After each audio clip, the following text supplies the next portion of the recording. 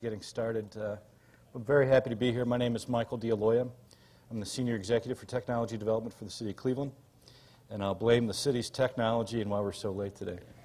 Um, today we're going to be talking about investing in the creative class. In the last two and a half years, it's been my charge to bring as many technology companies and as many people involved in the creative class into the city of Cleveland. And what I think we're going to do today, I think, one, you'll be surprised at how much we've accomplished in a short period of time and that you should consider Cleveland as your base of operations and your home. Today we're going to accomplish three things. The first, I'm going to demonstrate to you how deep the technology sector is in Northeast Ohio, including Cleveland, Ohio, the strategy that the city has employed, and the third thing being we're going to show you all the buzz that we've created in the last two and a half years. In a very recent study, we found out there are 2,800 technology companies in Northeast Ohio. And to give you an indication of the power of that number, that 2,800 is more than the number of technology companies in Reston, Texas, or Reston, Virginia, more than Austin, Texas, more than a research triangle. My only concern is they're very geographically dispersed, but nonetheless, we've got a base of 2,800 tech companies in Northeast Ohio. Employs almost 8% of the total employable population in Northeast Ohio. And in a recent statistic by uh, Nortech, we have 11,000 jobs in Northeast Ohio unfilled at this point in time in the technology trades, 5,000 of which are in Cuyahoga County. It's the second fastest industry growing, uh, growing industry segment in Northeast Ohio, right behind healthcare. You've got a really interesting convergence between those two, and we'll get to that in a minute. But look at all the deep knowledge that we have, or rather, great. Again, uh, city technology. I don't think this thing's been used in a few years. But with that said, deep knowledge in software development, medical devices, biotech, MEMS, fuel cells, search engine optimization, satellite system. Uh, who knew that the second largest satellite compression software company in the world, and that, that is indeed a niche, is right on Prospect Avenue, where a bunch of NASA engineers left a few years ago. And there's very few satellites that go up today that don't have their satellite compression software in it. Disaster recovery uh, and disaster management and uh, managed security, the, the last bullet point there. This is a very interesting bullet point. When you walk down Euclid Avenue, or rather the next time that you're able to walk down Euclid Avenue, what you'll find is that the world's the largest fiber pipe between New York and Chicago is underneath Euclid Avenue. And off of that fiber pipe, I've got multiple data centers, multiple network, network operating centers, multiple VoIP providers, multiple network security providers, all within a four block area. And so we've been using that infrastructure as an incentive for software companies web development companies to move downtown. Do I have some concerns? Well, of course we do have concerns. We don't have a Microsoft or a Dell to really be the cement, that, that anchor that we have. We're geographically dispersed over multiple county area. Um, I would put up our management and technical talent against anybody in the world. I really would. Problem is we just don't have enough of it. I mean, very evident by we're 11,000 people short. Continuum of capital. Prior to joining the city, I was a, a, CFO of a tech company right on Euclid Avenue, one of those data centers that I mentioned before. We raised in the range of $3.5 million from private equity sources. There wasn't a bank in town that would give me a line of credit for my day to day operations. So we had to go to the West Coast to get that from us. Silicon Valley Bank and Cisco Capital, which talks about the short term liquidity. There's just not enough liquidity in the marketplace in terms of financial liquidity to really uh, jumpstart the account this particular industry segment. However, since the third frontier was created in 2002, the city of Cleveland's been the largest recipient of those dollars to the tune of just a shade under $300 million, mostly into the research environments of CASE, the clinic, and university hospitals. But also, since 1997, for the last 10 years, there have been a number of private equity funds that have raised in the tune of 125 million, again, devoted to, to Northeast Ohio and devoted to technology. I don't know what exactly is going to happen with that 425 million, but you'd like to think that something great is going to occur. And I just don't know what that's going to be yet. And yet, we're still, according to a Nortech study, $1 billion short. And just the companies we have, that 2,800 companies, there's 11,000 people we're short, we're still short a billion dollars to really jumpstart this uh, technology economy. So, what's the vision? Mayor Jackson recently released his economic development plan for the city and his 2020 vision. And bullet point number one, bullet point number one, and this was a huge debate internally, I can assure you, was that the mayor wants the city to be a leader in technology and biotechnology by 2020. Historically, we would have fought with that issue of we're a manufacturing town and we will forever be a manufacturing town. But again, the last two and a half years, we've moved 32 tech companies into the city. I'm not quite aware of 32 manufacturing companies were moving into the city. So there's been a dramatic mind change at City Hall about what we can do. Two, we're going to aggregate as much financial capital and human capital into the Cleveland marketplace to the point where the city, I help manage an economic development fund for the city, and we've deployed $5 million into the technology trades and projects. And we're also going to create a spectrum of entrepreneurial education from grade school to grad school to the point where in the next few weeks we're actually convening a meeting between the Cleveland Municipal School Board, Cuyahoga County, City of Cleveland. We're talking about implementing a certification education program from K through 8 and 9 through 12. So when you walk out of the Cleveland Municipal Schools at some point in time, you'll have a series of technology certifications. You can either go to school or you can jump out into the employment marketplace. So you'll have that choice. And the fact that uh, everyone's agreed to this meeting is a pretty monumental step. These are just some of the companies in the last two and a half years that we have moved in. And it's 32 companies, it's a shade under 900 new jobs. They're growing by 20, 25% a year. It's been a really exciting time to see this happen and occur in the city. So when we collect all the creative class into the city, where the hell are we going to put everybody? And uh, I'm sure you're quite aware that one thing that I do have in Cleveland, Ohio, is a lot of freaking space. And if you need space, we can find the space for you. But the first thing, and this was the catalyst for technology in, in downtown Cleveland. Amazingly, it wasn't that fiber pipe that we have underneath it, but an old building called, uh, this was actually the old Stouffer's headquarters, Stouffer's Foods headquarters right on Euclid Avenue. It's now the Idea Center. You've got WCPN, WVIZ in the first two floors, five technology companies above it. It's got a data center. This alone, I mean, I'll be honest with you, when I started my job, all these tech companies in my portfolio, I was asking, where can we find the space? And there wasn't one damn landlord in the city that would let me bring these tech companies in. Now, these are dot bombs, the technology crash in the marketplace. And I, and I got to say, Playhouse Square was the only landlord that would let me bring tech companies in. To the point where I had to convince them, just give me a floor, man. One floor. What's a floor to you? I can fill it. Well, two and a half floors later, we're now we're moving into the Bulkley building. We've established the E-Tech hatchery, which I'll show you in a minute. We're about to launch the Hanna Tech Hotel. We've got Tyler Elevator going on, new buildings on West 9th and the Cleveland Technology Center, all in two and a half years. So there is, in fact, a demand. If you're a startup company, you want to test out an idea or a business plan, E-Tech Hatchery, 600 square feet, 300 bucks a month. Includes your furniture, your fixtures, your connectivity. We even have a few old, uh, older computers in there all your level one support, your email, servers, it's all included in that base price. It's a six month contract, and we're going to ask you to graduate at some point in time, hopefully within that six months. And to date, we've had Portfolio Magazine Online, Cleveland365.com, and uh, City all be a part of the E-Tech Hatchery. We've actually rebranded the hatchery, so if you walk on Euclid and 13th, you'll see the new signs. There's also a crown on top of the building. We're going to put in some, hopefully, some new digital signage on the crown in the next few weeks. Cleveland Technology Center. This is for the large application user, either through a Web 2.0 application, network security application, uh, where you'll be doing load testing on the internet. This building actually exists in a, in a very uh, dilapidated state on East 12th, between East 12th and East 13th on Rockwell Avenue. And if you go down there today, you'll see a lot of development of the Avenue District, which is a $250 million development of housing around this building. It's actually a collection of four buildings.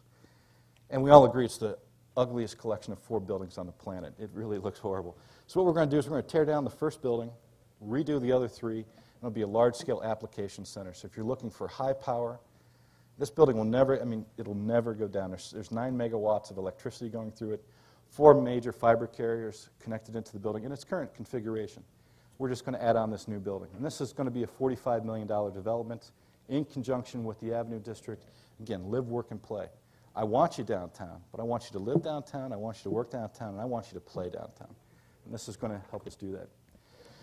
Uh, for all the gaming enthusiasts in town, after doing some research at uh, CASE and the Cleveland Institute of Art, we found out that there's a gaming minor, uh, a gaming theory minor in, the, in that university. And 75% of those graduates were going out to other software or gaming companies outside the city, which is uh, just inexcusable. And you might have heard of two of them. One is uh, Microsoft, the other one is EA Games. So we're planning this. This is a $5 million development called the Game Hub, 16,000 square foot uh, facility. It has, I don't know if you can see it in the back, but in the very back, you'll see a two tiered incubator. And the rest of this says every platform that you could play Wii, PlayStation 3, um, the Xbox they'll all be resident in the entertainment component, which is in the front. And in the back, again, very inexpensive space. Every software tool needed for gaming will be at your disposal. You create the games, you need to beta test the games, you can test them up in the front. We're hoping to get national gaming tournaments. It's taken me a year and a half, and we just got a developer to the table last week, and I'm hoping that this breaks and we'll start putting in. The city has agreed to put half a million dollars into this $5 million project. The next thing is a sister concept that the city created, which is called the Ultra Hip Music Lounge. And uh, as you can see, some very interesting architectural elements of uh, uh, videos being displayed on the walls. There's a huge guitar carved out of the ceiling that matches a bar underneath it. And you'll see a lot of these stations in the foreground. There's actually a stage in the back, and here's the idea. The concept is there's a lot of musicians who are part of the creative class. They may be technologists, maybe not. But the point is, you have a band, come in and play three songs or five. Just secure the stage time, and it's yours. It's recorded digitally in an audio and video format. I may miss you play, but two weeks later I come in, I see what you did, and I can download it for 99 cents for the audio, a buck 99 for the video. And we share in that uh, the uh, music lounge and the artist would then share in those revenue proceeds. Stage, a digital studio, and again, that live, work, and play environment. So I'm hoping within the next 12 to 14 months we'll have both of these concepts at least started. Uh, we've got a building identified on Superior. We think this could be a huge destination for people. Other things to, to contemplate. Hanna Tech Hotel. We're launching this in the spring of 2007. Looks like it'll be done in late May. Again, these are work pods, 500 to 1,500 square feet. Everything's included your furniture, your uh, telephone system, your fax, your copier. All you have to do is really just show up and start working on your new company. And it's between $1.25 to $1.50 a square foot each month, one year leases. One of the problems we've had is we had a lot of great number of startups happening in Cleveland. Didn't have any place to put them, and when we did find a place, it was usually a three to five year lease. And if you're a startup, you certainly don't want that type of liability. So here's a venue for a one year lease. Superior Innovation Center would be very similar in construct, with the, with the exception of these are typically patents, medical devices, biotechnology, and we're going to put it at 815 Superior. Tyler Elevator. I'm not sure if you know where Tyler Elevator, that uh, complex would be, but it's on 36 and Superior. It's a 42 building complex that stretches two city blocks. Gorgeous architecture. And uh, DigiKnow, which was a software development company out of uh, Beachwood, moved into that facility. And this is a great story about Cleveland, right? They doubled their space and lowered their operating costs by 10% by moving into Tyler Elevator. And once they moved into Tyler Elevator, we announced a $25 million development of the first two buildings in that complex. Just this week, we signed a, a, life sciences company to take the seventh floor. So, again, you're going to see a lot more attraction around this Tyler Elevator complex. We're talking with Forest City about a research peninsula, biotech, pharmaceuticals.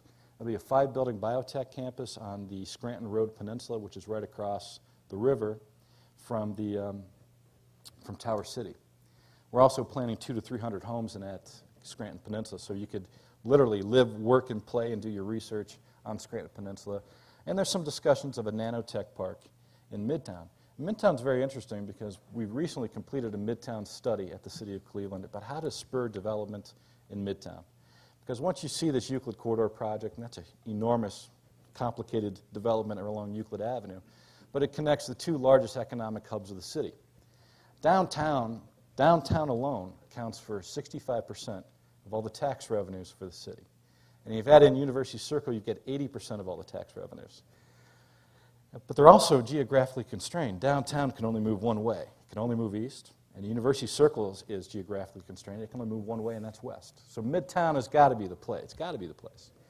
So we've actually designed, believe it or not, not only the Nanotech Park, but a digital film studio, a, uh, a technology learning lab, all within a three block area in Midtown. And hopefully, we'll be announcing these things uh, publicly very, very soon. These bullet points are a little dated, but uh, we are now above the 400 square foot mark. I'm literally running out of Class A and Class B space in the downtown environment. We've created around, again, a little shade under 900 new jobs. We're up to $5 million in loan support for technology companies. And we've put out almost 300,000 of grant, free money for technology companies to move downtown to help get you started. I mentioned earlier this new symposium of Cleveland Municipal School, Cuyahoga County, City of Cleveland getting together and creating that new workforce for the 21st century. Where coming out of eighth grade, you'll have an IC3 certification, and coming out of high school, you'll have at least three of these eight to 10 certifications. So let's talk about the buzz. In fact, it's one of the best parts of my job is going around and speaking to people like yourself and spreading the gospel that things indeed can, in, ha- can in fact happen in Cleveland. A few years ago, we started the Women in Technology event. It was the first type of event, the first event of its type in the state of Ohio. Our goal was 50 attendees. We ended up with 315 RSVPs, 225 attendees. And it really was a defining moment for women in technology in the city of Cleveland. The CEO Forum. If you're a CEO of a small company, our goal is to pair you up with a CEO of an old established company. And that's exactly what the CEO Forum does. We take the emerging growth CEO, we pair him together with the old economy CEO with one rule. You can't ask him for money, but you can ask him for anything else. Go fly fishing, you know? Go see a game. Go walk through the park. I don't care, but get together and do something special. And as you see, the attendees are starting to grow in this particular forum. Midtown Brews, uh, which is in partnership with uh, iOpen, and we had a speaker from iOpen earlier today. Really, it's uh, toasting technology. If you're a technologist and you want to talk for five or ten minutes, come in, have a few beers, talk a little shop, and enjoy the moment. Uh, Playhouse Square Party. Last year was the first year that we actually had a technology tent with the Playhouse Square Festival in downtown. We had 15 tech companies. Quick, interesting note of the 32 companies we moved in, 15 have moved into, to, into, into Playhouse Square. So there's a unique environmental cluster, just this beautiful technology cluster beginning to develop in that square. Paradigm Magazine. Not a lot of people know we're one of the few regions in the United States to have its own technology magazine. This is with a partnership with uh, Great Lakes Publishing.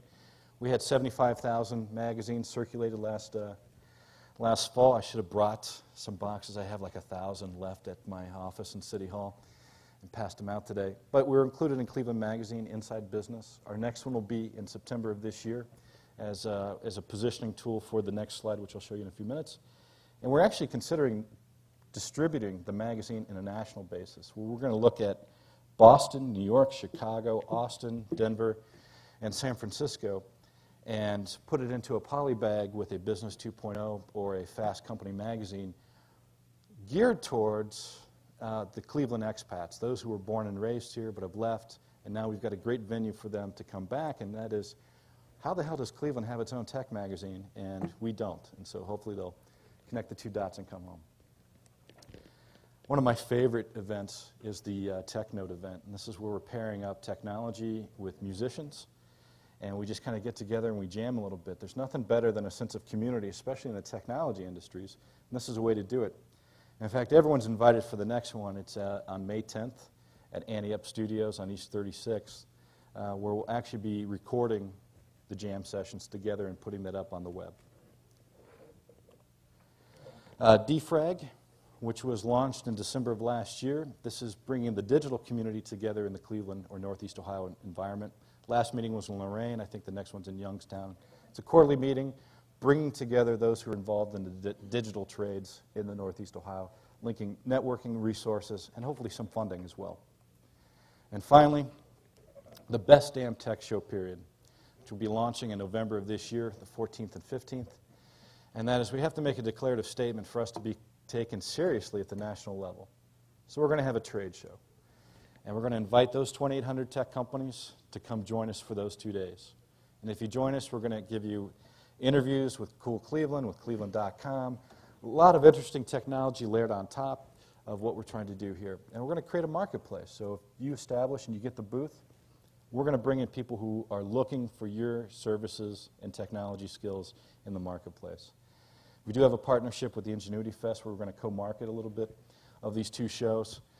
We were originally scheduled for July, but because the technology we wanted to impart into the show, we had to wait another six months to make sure it was tested. But this really could be a definitive moment for the city of Cleveland in the technology trades. I will put up my uh, contact information, and for a few of you in the audience who do know me, I, I, I, they'll assure you I do return phone calls, I do email people back, and I try and meet as many people as I possibly can. It may take me a few days, but I do, in fact, get back to everybody. Um, just to kind of give you a scope of what I'm handling currently at the city, on my plate right now, I have a billion and a half dollars of technology development in the city of Cleveland. A billion and a half. We're talking with 92 companies about moving into the city and that's split between 75 and 25 percent. 75 percent locally, again, that, that, that, black hole we've created, magnetized into the city of Cleveland, and 25 percent from outside the region. I mean, the word's getting out that you should take Cleveland seriously as your base of operations for technology. And I'll just throw off a little quick story. Thommen Medical, it's a Switzerland based company looking for a new U.S. corporate headquarters. They're in medical uh, dental devices. Chicago, New York, Boston, and Cleveland were the four cities that were considered. And historically, that's where we finish up the Quinella. We finish in fourth place, and we, you know, do a little clap. Hey, we tried. We actually scored this company. Beautifully designed uh, space down at Idea Center, 50 new employees in, and they're so impressed by what they've seen in Cleveland, Ohio, that now the Swiss uh, parent sends an executive over every year to live here in a one-year rotation. It's a great story. So please uh, call me, email me, be happy to meet, talk shop. And uh, I'm not sure if there's time for questions or not, but if there are, I'll take a few questions from the audience. Softballs, hardballs, curveballs? Yes.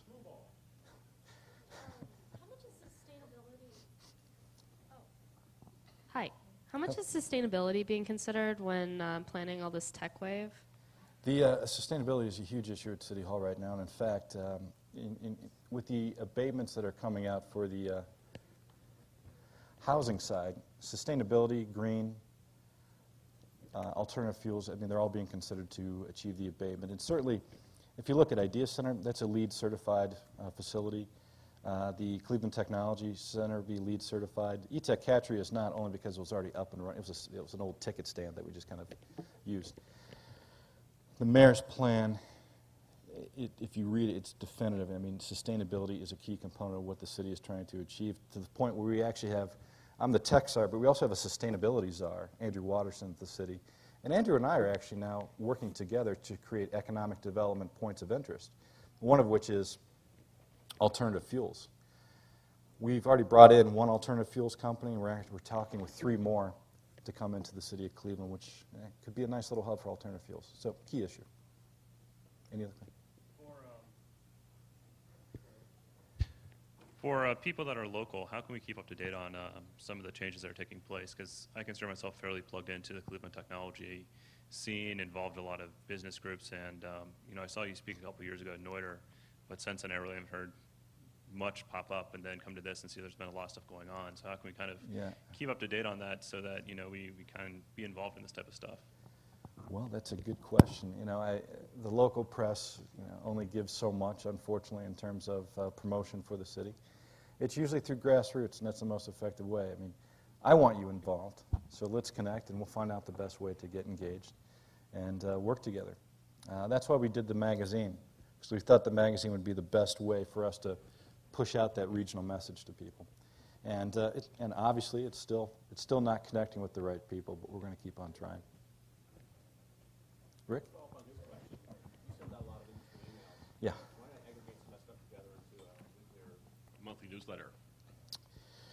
Yeah, uh, you know, that's what I've, I've actually been asked to write, you know, blogs and a weekly newsletter and things of that nature. Uh, there are days I don't even have time to breathe, much less write. You know, if I, I it, it is an issue, and, I, and I, know, I know what I need to do. I also need to get better technology at the city because I'm simply using for my email blast um, a saved Outlook file that I then keep on copying over, and so that's. Uh, let me just say, you know, we've got all this on, on the plate in technology, and we never thought we'd get to this point in time. But I have a staff of three, me, myself, and I. And it's only until recently that the budget was approved for me to get two more people. I could keep five to seven full time going, I mean, daily. I mean, it's really been that robust. The city understands that we have a severe problem in economic development in just terms of personal, human capital to make these things happen. I'll also say this about City Hall. I, I, I love working there, but we're not very PR savvy from, you know, from the top on down.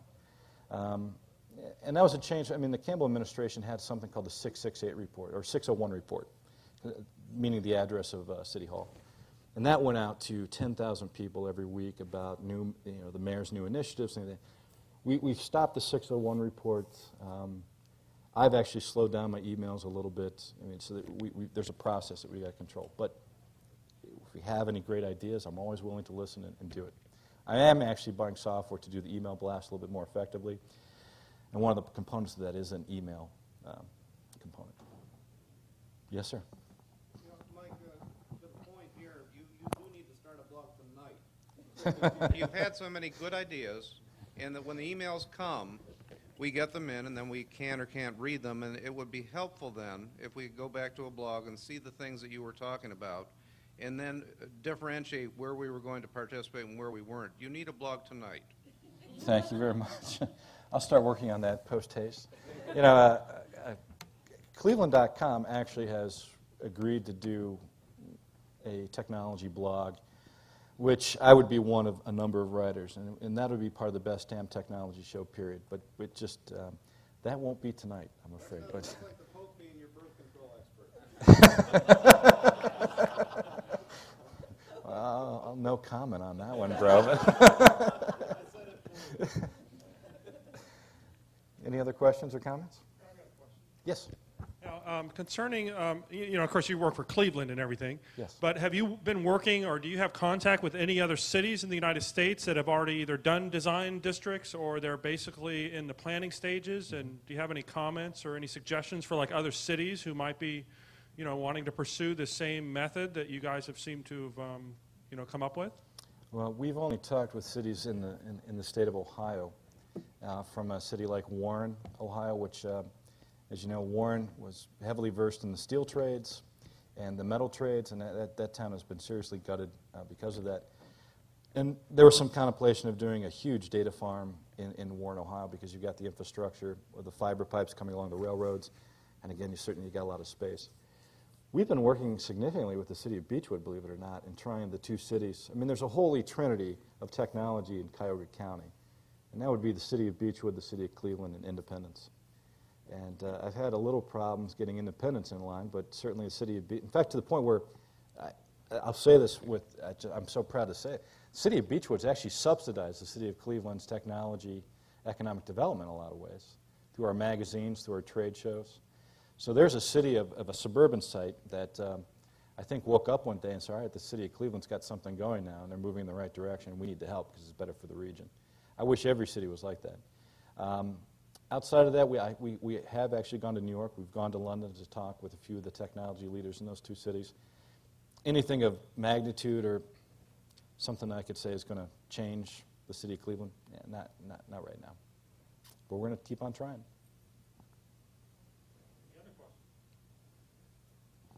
There's one right down here. Um, okay. um, I was wondering, it's a little bit different than the other questions, but what is the city's plans as far as like um, bringing in? Uh, I, I was noticing in the city record that there was an emergency ordinance put through to offer a 10-year contract for uh, uh, basically broadband wireless coverage for the entire city. Is the city also considering a municipal-owned network as opposed to, uh, you know, corporate-owned? Yes, the like goal is that the city would have a, a municipal-owned wireless, and these are discussions that we've had in the past two years, and I can give you a quick history. In 2003, no, 2004, uh, Mayor Campbell met with uh, Intel, uh, One Community, Cuyahoga County, um, and a few other key people to discuss the possibility of a municipal wireless network. And to us, it's a utility. I mean, it should be egalitarian, people should have access. And ha- seeing how the city of Cleveland has one of the worst uh, connectivity uh, percentages in the United States, it's the best way for us to leapfrog that because honestly, the SBCs and the AT&Ts of the world uh, almost outright refuse to go into the damn neighborhoods. I mean, it's a, crying shame. So, what are we going to do? We, gotta, we have to build our own wireless, Muni wireless network to make sure that everyone has connectivity and to the point we're actually considering how do we get the device in the home. how do we get the device to the kid in the school? So yes, uh, it was recently passed. Uh, Intel did work on the, uh, we hired Intel to uh, finish up the wireless plan for us. That's actually handled out of our, um, the office of the CTO. And uh, if anyone has uh, wireless applications or they want to even try to go for the RFP, I'd be happy to connect anybody to do that. But we will have one up very, very soon. Well, thanks everybody for your time, and uh, I really, any any place that has a martini as a logo on the front of the, I'm there, man. So thank you very much. Appreciate it.